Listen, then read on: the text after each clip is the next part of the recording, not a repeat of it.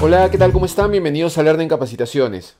Soy el profesor Sergio Vaso Bertrán y en esta ocasión te traigo la serie de ejercicios de prueba cuánto sabes de Excel avanzado, la edición número 23. Esta emisión no pude hacerla en vivo por cuestiones técnicas el día sábado pasado, así que la estoy haciendo el día de hoy eh, como video grabado para que puedan tener los ejercicios y el día viernes, como de costumbre, me conecto en vivo para poderlos resolver. Así que tienen, van a tener menos tiempo para hacerlo, pero en realidad son ejercicios muy cortos, o sea, no van a requerir de mucho tiempo. Antes de comenzar, como siempre, te voy a pedir que por favor le des like al video, que lo compartas si aún no te has suscrito al canal de Lernen Capacitaciones, este es el momento de hacerlo. Dale clic al botón rojo de suscribir y luego clic en la campanita para que el sistema te avise cada vez que yo suba un nuevo video. Y además te invito a que adquieras una membresía del canal.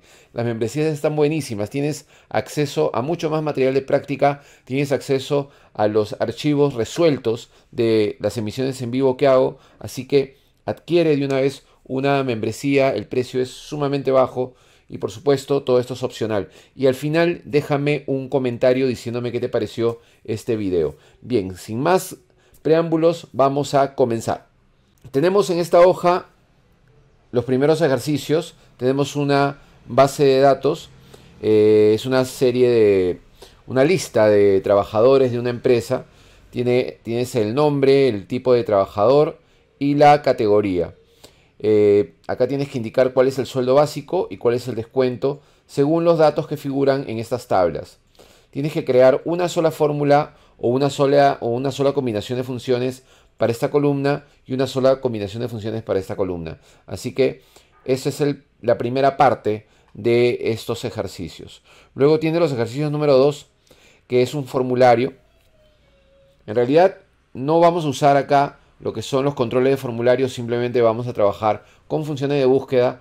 Eh, aquí tienes que validar lo que es el código utilizando eh, esta lista de acá, código del trabajador. Bien, y una vez seleccionado el código tiene que aparecer automáticamente el nombre y apellido, la categoría, las horas programadas, las horas dictadas, el pago por hora del trabajador al cual corresponde ese código. Luego tienes que hallar el monto las horas que faltan, porque tiene unas horas programadas y unas horas dictadas, cuántas horas le falta dictar.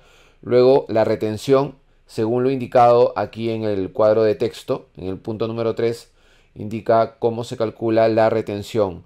Luego la bonificación también, que está acá indicada en, en una de estas dos tablas. Y luego el neto a pagar, cuánto va a cobrar finalmente.